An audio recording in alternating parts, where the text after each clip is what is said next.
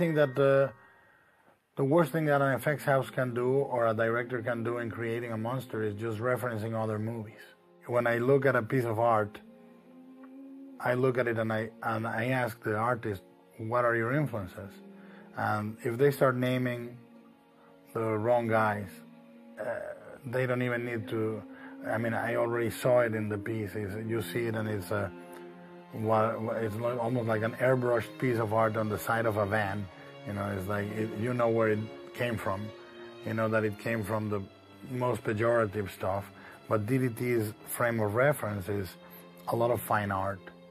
Uh, or if I reference a particular subject, or if I say Rackham, Arthur Rackham, or if I say uh, a particular painter, they, they, they can go and research that. They come very well prepared to discuss the designs. You know, they, they don't feel comic book, and they, they won't feel like uh, they came from another movie.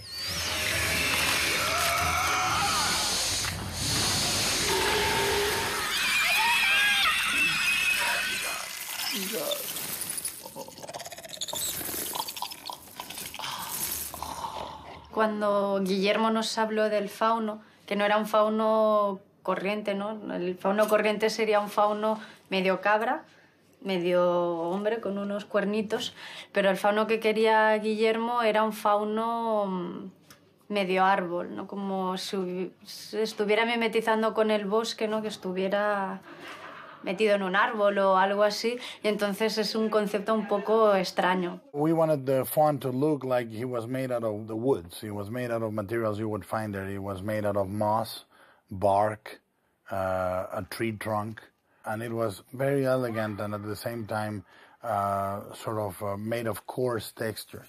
It was about taking the characters that are prototypical in a fairy tale, like the giant frog, the fairies, and the ogre, which is the pale man, and giving it a, a spin, making them look uh, not like every other ogre or like every other fairy. Guillermo es el director con quien más tienes que batallar a la hora de trabajar, ¿no? Porque uh, con la gran mayoría de, de directores es, uh, bueno, pues le enseñas un, un diseño y ¡ah, bien, bravo! Sí, Guillermo no, para nada. Guillermo es como, no, no, no, no, coge al cabrón de Sandoval y que me haga algo más. Y venga, y dale, y dale, y transformar, y transformar, y transformar. Y al final, casi siempre, Guillermo tiene esa, esa manera de, coger, de, de- de mezclar cosas, ¿no? De coger el puchero y decir, esto de aquí, esto de allá, esto de aquí, esto de allá, y eh, este es el personaje.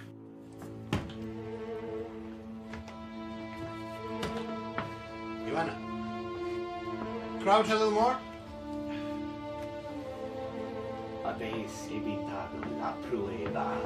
No. Mi madre está enferma. No es excusa para la negligencia.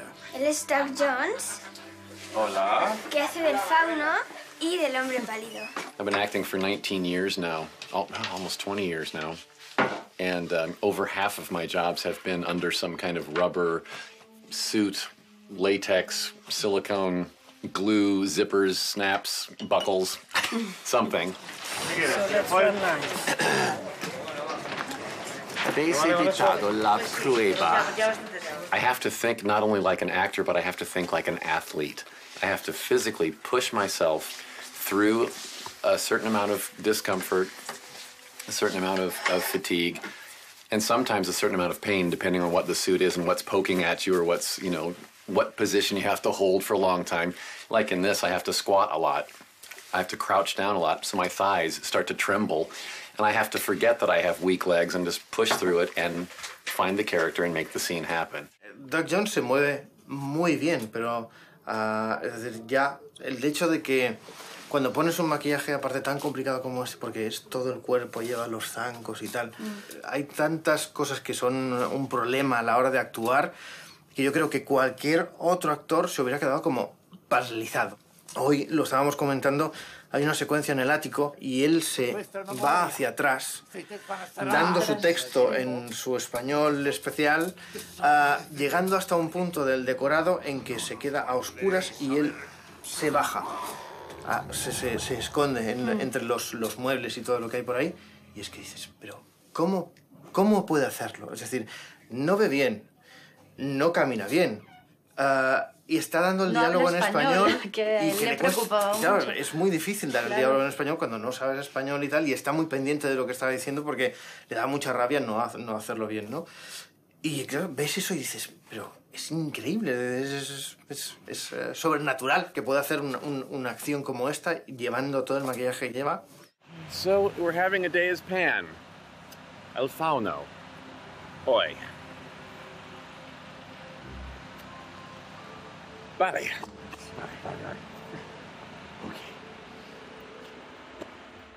Esto es el, body, lo que le ponemos primero. Es la primera pieza que le ponemos. La parte del, pecho, la torería que le llamamos, le tapa todo esto. Esto es para las pilas que lleva los servos de la cabeza. Lo metemos dentro con mucho talco, con mucho polvo de talco, porque si no le cuesta mucho entrar. Y bueno, después de esta pieza, lo que le ponemos es la torerilla, que es esto. Es una pieza pues con cremallera por detrás.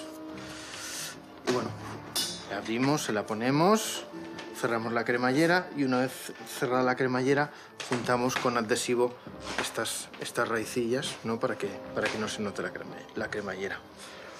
Después de esto lo que tenemos son las piernas, que es lo más complicado para que entre, porque básicamente aparte de que el, traje le va muy muy ajustado para que después se le, adapte muy bien a él, pues tiene la complicación de que ah, tiene la extensión de las piernas esta, que nos hace un poco complicado para entrar dentro, pero bueno, más o menos para meterle dentro del traje tardamos de todas las piezas como media hora, entre media hora y 25 minutos.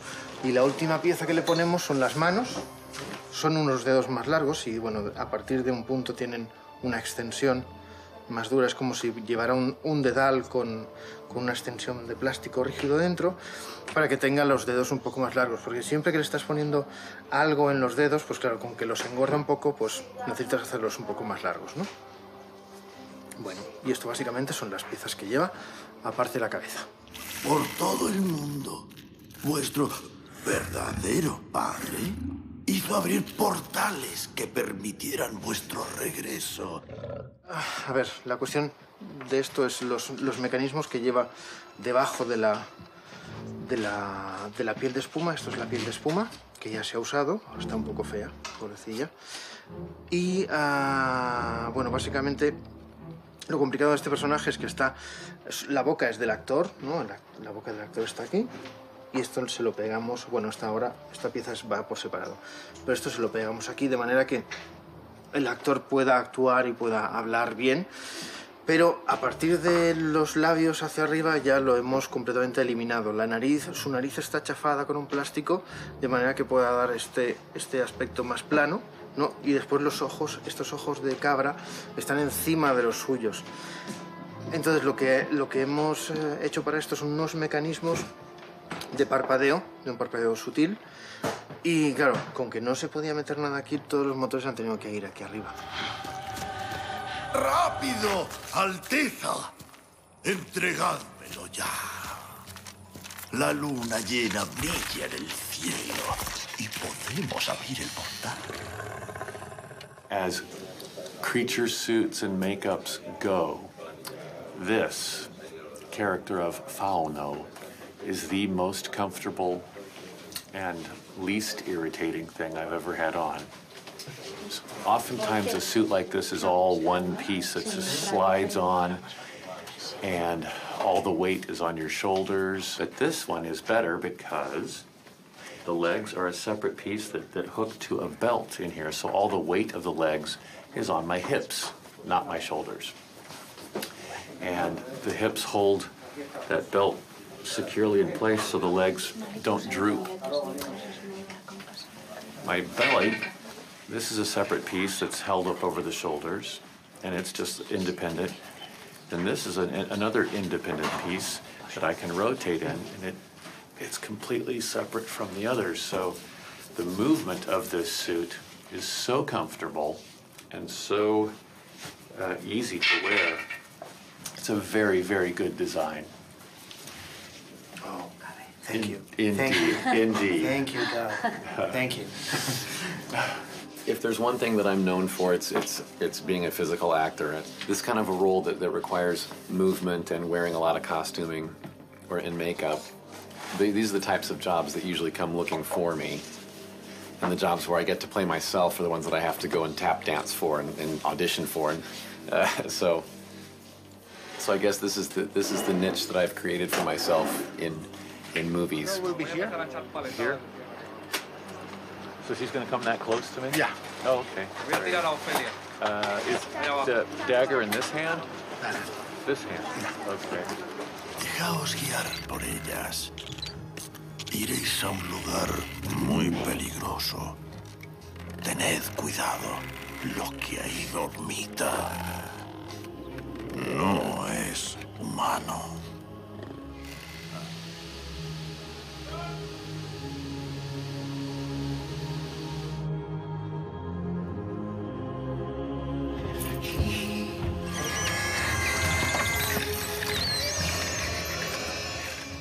Este es el personaje del hombre pálido, que es, ha nacido a- de dos ideas diferentes, de dos conceptos diferentes, que uno era el concepto de hacer un maquillaje en el cuerpo, que es, es lo que vemos desde cabeza hasta, hasta aquí, hasta debajo de la cintura, y después lo otro es este otro concepto, que, es, ah, que son eh, las piernas como de marioneta encima de las piernas del actor con, un, con una licra croma. Realmente la referencia que nos dio Guillermo era un hombre que había sido súper, súper gordo y como si de repente se hubiera adelgazado, entonces le caen todos los colgajos. I asked them to sculpt him like they were sculpting an old man that lost a lot of weight. And when the sculpture arrived, I did a sketch of it and I removed the face. Y entonces de repente Guillermo llama y dice, mira, ¿sabes qué? La parte de abajo la dejas así, tal como está, pero la parte de arriba la vamos a hacer lisa completamente, sin ojos y con los agujeros de la nariz aquí arriba. Digo. Digo, ¿cómo se lo digo yo a este hombre que ha estado aquí esculpiendo durante tanto tiempo?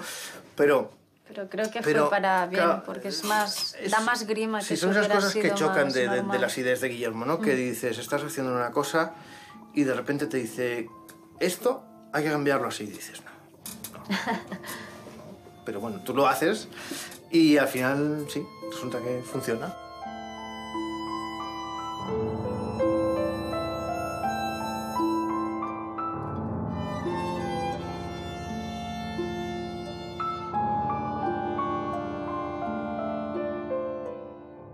Lo que se hace es que sobre el molde del actor vas modelando todo el cuerpo entero, el cuerpo, la espalda, las piernas, las manos sí se modelaron aparte. Y una vez que lo has modelado, pues lo que hacen es que se dividen esos moldes en partes para que sea fácil, aparte de sacar las copias. La aplicación, entonces el maquillaje pues tiene los brazos que son de silicona, que son piezas separadas, tiene la parte de la espalda que es separada, tiene la parte del pecho, bueno, el pecho y la tripa que es todo separada, y las piernas. Aunque sea, por ejemplo, los brazos silicona, pues incluso los brazos tienen distintas, eh, distintas densidades para que tenga distinto peso y distinto movimiento. Y eso lo que hicimos fue llenar, pues, brazos de silicona, manos de silicona, piernas de espuma. Y una vez que hemos sacado todas las piezas, pues lo que hacemos es que hay que pintarlas. Y lo único era intentar unificar el look, que como la, como la silicona tiende a ser bastante más translúcida, pues tuvimos que hacerlo lo menos translúcida posible. Y que la espuma de látex pareciera lo más translúcida posible. You are so pampered. Pampered. Yes, they take good care of me. All to make you look your best. It's a fine line between torture and pampering, isn't it? It is. Do, do you mind if we Yeah, put the the teeth, teeth on to show your beautiful Sure, sure, sure. mouth? So the uppers. Oh, oh, oh. Yes. And now the lowers. Here we go. Now you could show your smile. Smile. Hey.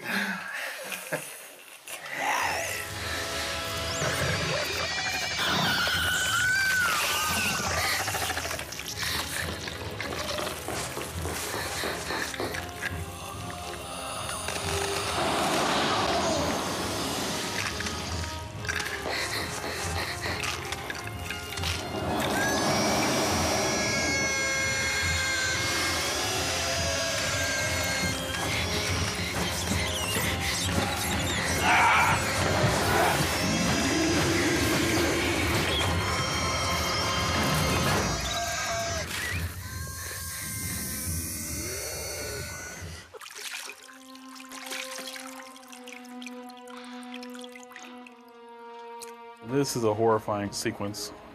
This whole area right here is covered with an appliance, and you can see his mouth, the inside of his, his cheek right there is painted blue. And he actually stitches shut the prosthetic right there on his face. Very brave actor.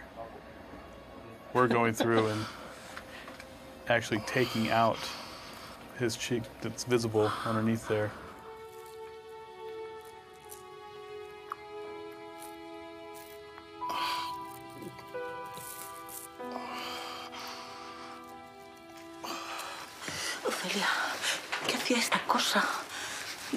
La cama?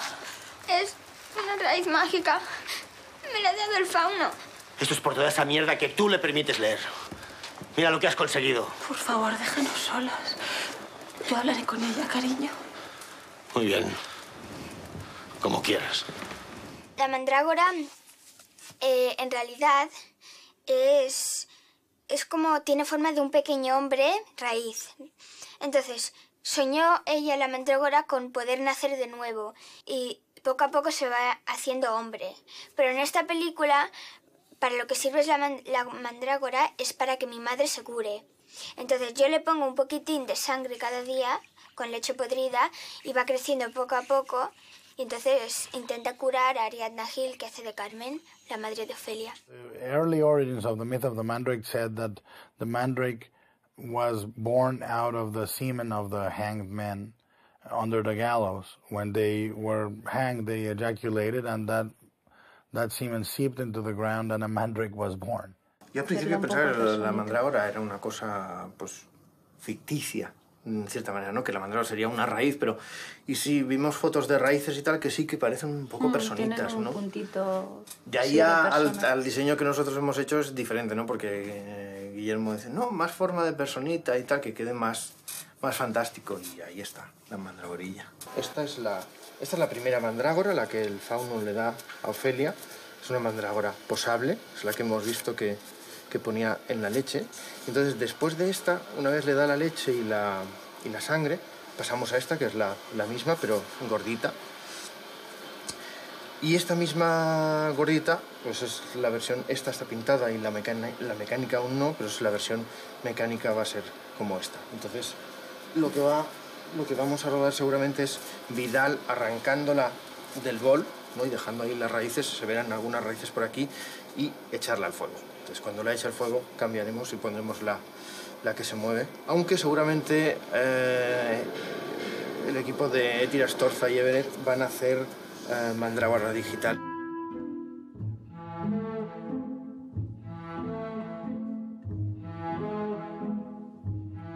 originally it was uh, we had shot the scene.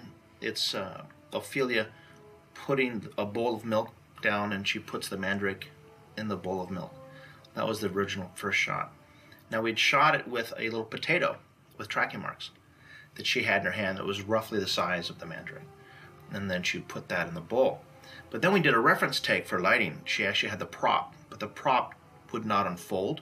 It was just kind of in a, a fetal position and she put that in there. And then when Guillermo got in the editing room, he liked that take the best, which causes problems for us. That's why we shot the potato version, because the potato was slightly smaller, so I could put the mandrake over top of that. So we, that was our first battle, I guess, in terms of trying to figure out what to do. Um, so we had actually had paint that mandrake out and put our CG mandrake in, and then lay it over top of the mandrake once it got in the mill. So it was an incredibly difficult shot, but it was the performance thing for Guillermo. Ofelia's eyeline was so much better, and her performance was much better when she had the actual puppet in her hand instead of a potato.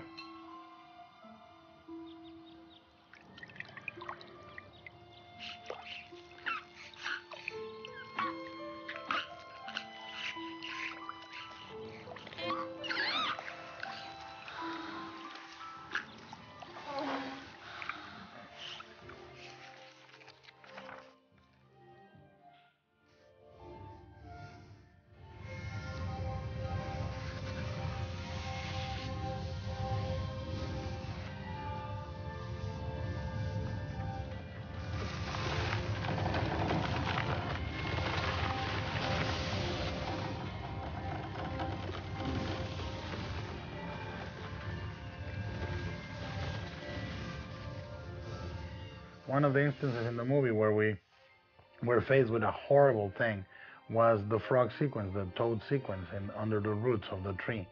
Originally, we had constructed a huge set for this toad, and it was meant to be more of a fight between the girl and the toad. And she had to trick him into eating the stones at the end of that fight. We had, I don't know, 10 more shots digitally and so forth. And uh, DDT was supposed to have constructed that toad to jump around and move. And when it came time to the frog, we were having these discussions. Is it going to be too heavy? And uh, they went with their instinct and they decided once it could handle it and it was not too heavy. And of course, the goddamn frog shows up and it's too heavy. Now, the set had already been constructed. It was a huge set with a uh, like a womb made of roots and a dripping candelabra of amber in the center. It was absolutely gorgeous. And uh, we couldn't use it. If the frog didn't move in that set, it was going to look like a tiny frog in an immense set and a tiny girl. It was going to be completely the wrong effect. So, very quickly, I was faced with two choices shoot it in the set and showcase the set, which would ruin the scene, or reinvent the scene very fast for another set, which was the root chamber, the root caverns in the tree, which we built only for her to go by. But then I thought, well, if the cavern is very small and tight and we can put the frog there, it's going to look like a bigger frog because it's in a contained space. And uh, the confrontation will be more about the girl tricking him into eating the stones, thinking it's a, a, a pill bug, a roly poly. And uh, it transformed in, I think, a day or two. We had to think that fast. The scene was one thing on Friday, it was another thing on Monday. So it went also from being a mostly practical frog to it being mostly CG. Guillermo rethought the scene and thought that it would be better suited if it took place in the roots in that tunnel and kept it more claustrophobic. And when we got into that set, we realized that it was just too claustrophobic for the performer to move much. So as we got Montse in the suit, we sort of realized, well, some of the stuff worked and some of the stuff didn't. So what we did is we shot clean plates. Every time there was a toad, we removed the toad and I would shoot clean. Where the puppet couldn't do certain things, we would have to sort of take it to the next level.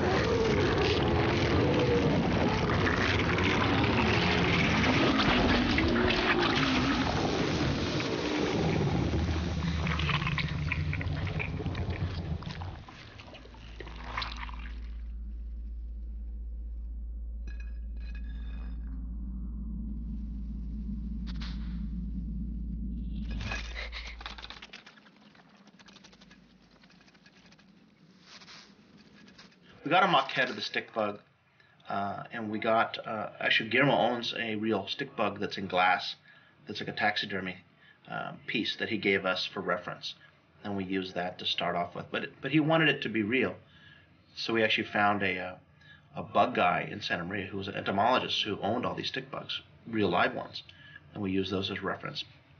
We uh, actually owned, actually became parents of two stick bugs that we called Cheech and Chong, and they actually get credit in the film. They passed away, unfortunately, during filming, but they had a thousand babies. So we had a lot of stick bugs for reference.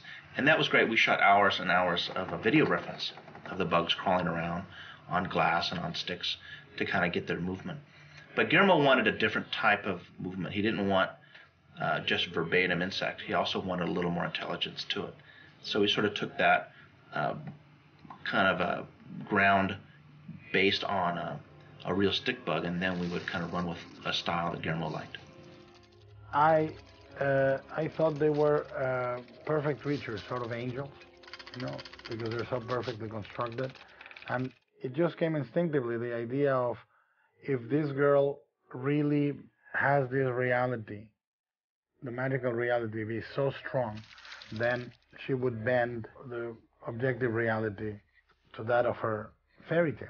I think that is a very delicate moment in which the insect looks at the illustration and says, "Oh, okay, so that's what you think a fairy looks like. Well, let me show you." And and it transforms into its own self, which is could be seen as an imitation of the illustration in the book or her actually showing her what a fairy really looks like.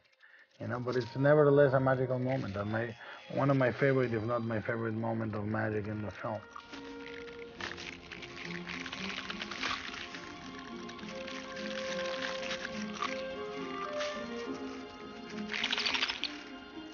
DDT gave us a, uh, a rough concept, and it was from Hellboy.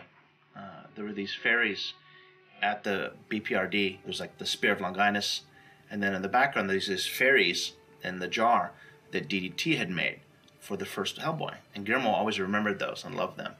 So they sent us a copy or a reference image of that. That's sort of what we took from uh, the concept. But they had hair, and I always asked well, why did these not have hair? He goes, well, he wanted them to be um, more insect-like and not have long flowing hair. Hence, you know, they came from the stick bug. So the hair was never uh, a question, even though I thought it was a little odd at first. And we used a really interesting idea. We took uh, crushed leaves, photos of leaves that we had scanned, and we used that as the texture. So it kept it very earthly, very uh, tactile, very much part of the nature world that Pan comes from. Wood, uh, leaves, uh, grass, roots, things like that. And Guillermo loved that concept. I come from a makeup effects background as well, and I worked on a lot of the George Romero zombie films. And uh, Guillermo remembered Day of the Dead had these very, you know, particular nasty bites in the film, and we kind of referenced that. The initial concept, I think, came from the Goya painting. Uh, I think Saturn eating his son. You know, it's like this, the big stretchy meat. That's sort of the, where the original concept I think came from. But then we talked about the bites that I did in, in Day of the Dead, and he thought, oh yes, let's do that. Let's make out a zombie picture, just for that moment.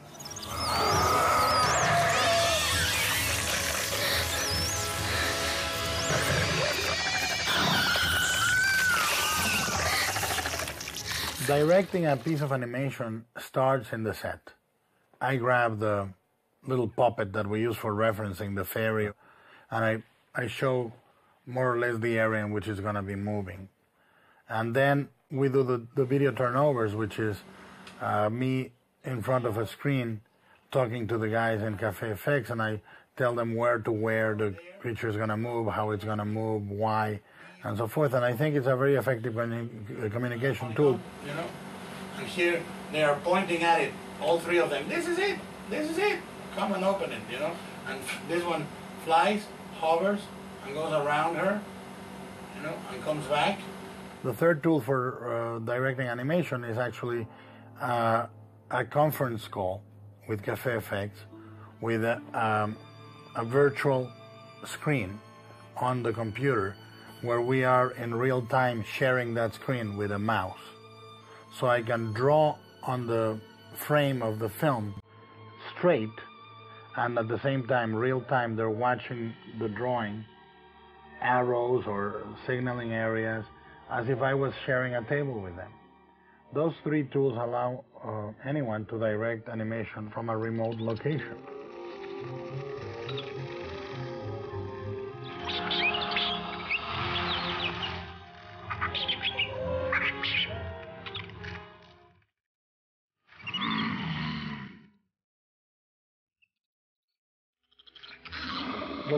A movie is a collaboration, and uh, there are certain elements in a collaboration that you can do without or do with them being flawed, and you keep limping until the final uh, stage, you know. But others are crucial, and DDT and Cafe FX together, the way they were able to combine the, their techniques, for example, in the frog sequence, in the giant toad sequence, uh, or the way they enhance the work of each other. I could not imagine this movie without DDT or Cafe FX.